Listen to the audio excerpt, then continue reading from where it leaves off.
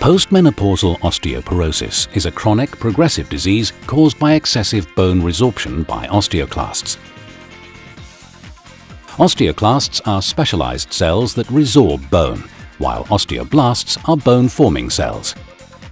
In healthy bone, the activities of osteoclasts and osteoblasts are balanced so that the amount of bone resorbed is in balance with the amount formed.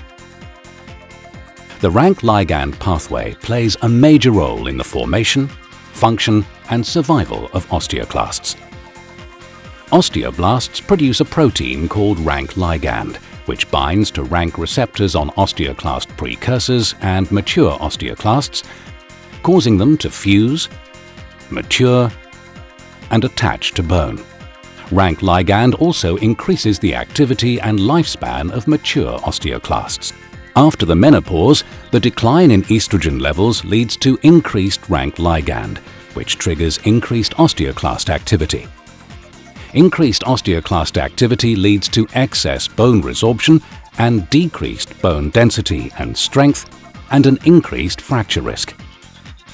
Bisphosphonates are the most commonly used treatment for postmenopausal osteoporosis worldwide.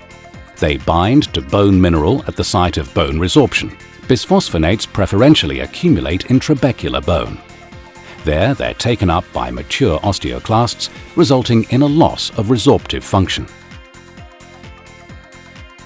The discovery of Prolia offers postmenopausal women a different treatment option for osteoporosis. Prolia binds to RANK ligand and prevents its binding to the RANK receptor on immature and mature osteoclasts, and therefore stops osteoclasts before they reach both cortical and trabecular bone. Prolia inhibits osteoclasts at all stages of development, thereby decreasing formation, function and survival. In this way, Prolia blocks the action of osteoclasts before they can actively resorb both cortical and trabecular bone at the hip and at other key sites throughout the skeleton.